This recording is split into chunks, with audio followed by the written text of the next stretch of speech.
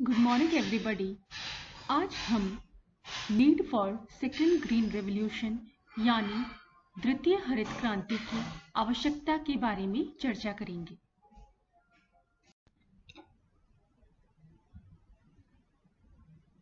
जैसा कि हम सबको पता है कि जो करंट स्टेट ऑफ़ एग्रीकल्चर है भारत में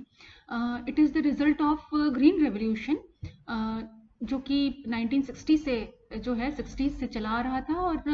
which was heavily backed by the government जिसको सरकार ने काफ़ी बैकिंग दी थी और it has delivered India's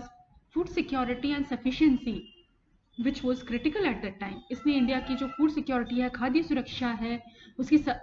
खाद्य पूर्ति जो है, उसको पूरा करने में काफ़ी सीमा तक मदद की है हरित क्रांति ने। और ये जो प्रोग्रेस है सिक्योरिटी है, अब देखिए, इसकी it has its own cost in terms of environment and economic viability तो इसकी भी कुछ लागत है जो कि हमको चुकानी पड़ेगी। और ग्रीन रेवोल्यूशन जो है, हरित क्रांति जो है, उसने रैम्पेंटली यूज़ किया था किसका? फर्टिलाइजर्स का और केमिकल्स का। और which made food and water toxic to some extent और जिससे कि खाद, हमारे जो खाद्य पदार्थ हैं और जो पानी है, उसमें जो है टॉक्सिसिटी काफ़ी बढ़ गई और इट सपोर्टेड जो है indiscriminate use of water as rice was the main target of the revolution क्योंकि चावल को इसमें मुख्य रूप से जो है इम्फेसिस दिया गया था ग्रीन रेवोल्यूशन के तहत और India 80 percent of fresh water is consumed by agriculture most particularly by rice farming और फर्दर जो है पास्ट में ग्रीन रेवल्यूशन जो है, उसने अनेक जो क्रॉप्स हैं, उनके पर हेक्टेयर जो यील्ड है, उसको कंटिन्यूसली बढ़ाया है। ओरिजिनली यील्ड जो पर हेक्टेयर है for rice was merely one ton and now it stand over three tons increase of wheat it is around two point four tons this increase was incremental over all the years as more and more cultivated area kept under kept coming under in irrigation high varieties and fertilizers. But in recent past, these measures are showing fatigue. जो है ये तरीके एक तरह से जो है fatigue show कर रहे हैं and yield growths are flattening up अब धीरे धीरे जो प्रोडक्टिविटी ग्रोथ है, उत्पादकताएँ हैं, वो भी धीरे धीरे फ्लैटन हो रही हैं, कम हो रही हैं. वी हैव सीन इन देखिए कि जो इंक्रीजिंग कॉस्ट है फर्टिलाइज़र की ये एक तरह से कृषि की लागत को बढ़ाते हैं और फ़ूड कई बार जो होता है खाद्य पदार्थ जो है, एक तरह से मासेस के लिए अनअफोर्डेबल हो जाते हैं। और उसके जो फर्टिलाइजर्स है, जो खाद है, उसके इनडिस्क्रिमिनेट यूज़ से जो है न्यूट्रिएंट्स जो सॉइल में है, मिट्टी में जो न्यूट्रिएंट्स होते हैं, वो धीरे धीरे खत्म हो रहे हैं। तो शॉर्ट में हम कह सकते हैं कि जो ओरिजिनल जो तरीके अपनाए गए थे ग्रीन रेवोल्यूशन के तहत, उस, वो एक तरह से धीरे धीरे वो अंत, उनका अंत हो रहा है और जो यील्ड्स हैं, Indian lands, they are far still below still far below world average. और हमारे जो पॉलिसी मेकर्स हैं, उनको अब और कोई और तरीका अपनाना पड़ेगा, ताकि हमारी कृषि जो है, वर्ल्ड एवरेज के नज़दीक आ सके। करंट स्टेट ऑफ़ एग्रीकल्चर है, वो किस, किसी भी तरह से जो है, सस्टेनेबल नहीं रहा है। और न्यू एग्रीकल्चर पॉलिसी जो इंडिया है वो एम करती है अब सस्टेनेबल एग्रीकल्चर पे, जिसको हम पॉपुलरली सेकेंड ग्रीन रेवोल्यूशन कहते हैं या एवर ग्रीन रेवोल्यूशन कहते हैं। और ऑलमोस्ट हर करंट जो पॉलिसी है, उसको हम कवर कर सकते हैं green revolution second green revolution की कैटेगरी में। और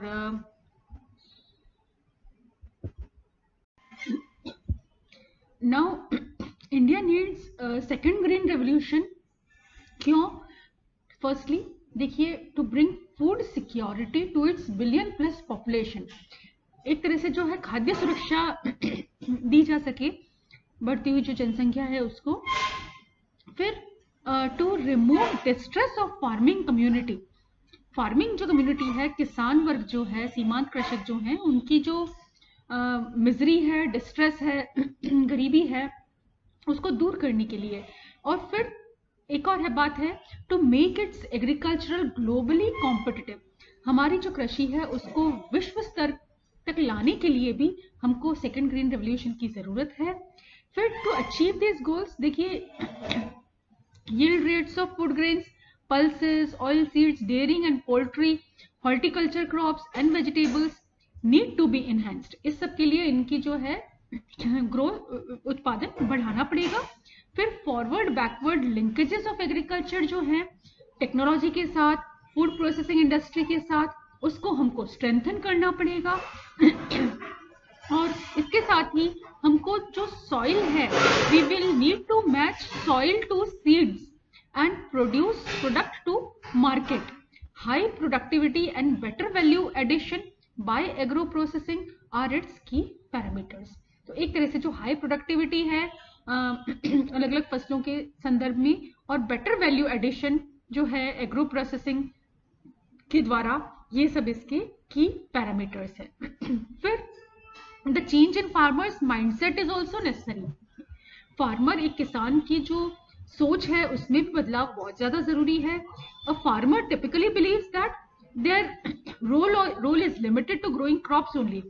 भारत का जो किसान है, वो ये सोचता है कि उसका जो रोल है इट इज़ केवल फ़सलें उगाने तक ही हैं, बल्कि जबकि इसकी जगह they must be realise that their scope can increase from grain production to food processing and marketing तो किसान को अब व्यवसायिक कृषि की ओर बढ़ना होगा फ़ूड प्रोसेसिंग खाद्य प्रसंस्करण और उसके विपणन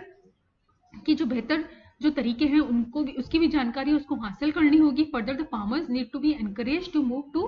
produce crops where they have natural advantage तो जो प्राकृतिक रूप से जो जो जो सुविधाएँ उपलब्ध है, उसके अनुसार जो है फ़सलें लगानी होंगी। 2011 में जो एग्रीकल्चरल सेक्टर था, वो एक तरह से दोराहे पर था और it was at cross roads with rising demand for food items एक तरफ़ जो खाद्य कीमतें हैं वो बढ़ रही थी एंड रिलेटिवली दूसरी तरफ़ स्लोअर सप्लाई रिस्पॉन्स था बहुत सारी कमोडिटीज में। और इस कारण से जो है फ़ूड uh, इन्फ्लेशन जो है काफ़ी फ्लक्चुएशंस आए प्राइजेस में और फ़ूड इन्फ्लेशन जो है वो हुआ। और food safety net for each of India's billion plus citizen requires enhanced agricultural production and productivity अगर हमको खाद्य सुरक्षा इंश्योर करनी है इंडियंस के बिलियन प्लस पॉपुले हमारी जो पॉपुलेशन है तो हमको जो है एग्रीकल्चरल प्रोडक्शन और प्रोडक्टिविटी को बढ़ाना पड़ेगा। फिर special attention was required to increase production of nutrition rich crops like pulses fruits vegetables which remained untouched in the second green revolution तो अब जो है विशेष जो अटेंशन है, जो ध्यान है, वो हमको देना होगा प्रोडक्शन करने के लिए किसका? न्यूट्रिशन रिच जो क्रॉप्स है पल्सेस हैं फ्रूट्स हैं वेजिटेबल्स है, जिसको कि हमने पहले ग्रीन रेवोल्यूशन में, प्रथम हरित क्रांति में हमने जिस पर अधिक ध्यान नहीं दिया था। So the need for Indian agriculture should diversify from just crop farming to crop farming से हमको आगे बढ़कर द्वितीय हरित क्रांति में हमको livestock fisheries poultry horticulture इन पर भी हमको एम्फेसिस या ध्यान देना होगा। और इसके साथ साथ जो है फार्म प्रोडक्टिविटी और वो तो हम देखेंगे ही फार्म प्रोडक्टिविटी भी बढ़ाएँगे, और साथ साथ जो है एग्रीकल्चर को डाइवर्सिफाई करने की अब ज़रूरत है। तो स्पेशल फोकस हमको देना होगा। रेन रेन फेड जो एरियाज़ हैं उनमें और ज़्यादा प्रोडक्टिविटी हम बढ़ाएँ कैसे? और फिर increasing agriculture production and productivity is a necessary condition एक नेसेसरी uh, कंडीशन है not only for ensuring national food security but also for sustaining the high levels of growth तो हायर जो लेवल्स ऑफ़ वृद्धि जो समृद्धि दरें हैं आर्थिक विकास की उसको बनाए रखने के लिए भी जो है हमको एग्रीकल्चरल जो कृषि जो उत्पादन है और जो उत्पादकता है, उसको हमको बढ़ाना होगा। यही सेकेंड ग्रीन रेवोल्यूशन इसलिए सेकेंड जो ग्रीन रेवोल्यूशन है या द्वितीय हरित क्रांति है, उसकी आवश्यकता है।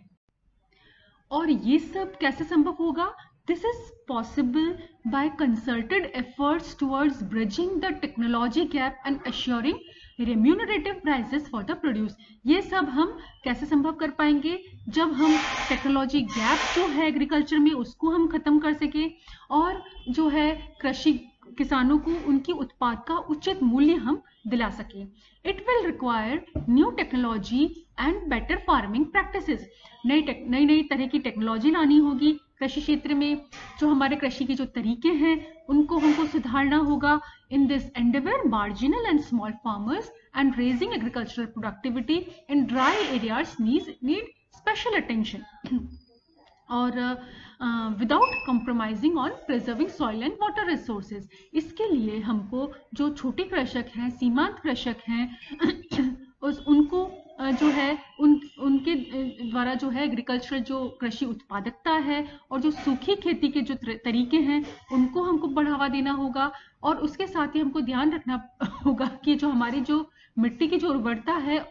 और जो पानी के, हमारे जो स्रोत हैं, जल संसाधन जो है, उसको भी हमको साथ में हम उसका संरक्षण कर सकें। This demand proper this demands proper coordination implementation and monitoring of this support policies in addition to allocation of resources इसके लिए जो है प्रॉपर कोऑर्डिनेशन की ज़रूरत है इम्प्लीमेंटेशन और मॉनिटरिंग जो है सपोर्ट पॉलिसीज़ उनकी ज़रूरत है और साथ ही साथ एलोकेशन ऑफ़ रिसोर्सेज के साथ ही हम, हमको इन सब बातों पर ध्यान देना होगा। तो जो सेकेंड ग्रीन रेवोल्यूशन है, द्वितीय हरित क्रांति है what it aims at it aims at information technology revolution इसमें सूचना जो तकनीकी क्रांति है, उसका समावेश है। बायोटेक्नोलॉजी रेवोल्यूशन बायोटेक्नोलॉजी रेवोल्यूशन का समावेश है। फिर research and development and targeting of specific crops special crops की तरफ़ जो ध्यान देना है, जो कि हमारे जो है कमर्शियल या व्यवसायिक खेती का रूप दे सके हमारी कृषि को। इंफॉर्मेशन टेक्नोलॉजी की जहाँ तक बात है तो information technology will create awareness in the farmers introduce them with more cost efficient technologies जो कॉस्ट एफिशिएंट कम लागत वाली जो तकनीकें हैं, उनकी इंफॉर्मेशन किसानों को प्रोवाइड करेगी। एंड एक और चीज़ जो है, वो है it will enable them to choose among among different alternatives क्या क्या उनके पास ऑल्टरनेटिव्स उपलब्ध हैं किसानों के पास? उनके बारे में उनकी जानकारी बढ़ाएगी ताकि वो सोच समझकर अप्रोप्रिएट जो टेक्निक है कृषि क्षेत्र में वो लागू कर सके। It is in fact a support service like customer care एक कस्टमर केयर के सपोर्ट की तरह सर्विसेज़ हैं where information deficit on part of farmer will be addressed तो किसानों को जहाँ उनकी जो जानकारी है, जो लैक कर रही है, उसके बारे में उनको अवेयर किया जाएगा। Thank you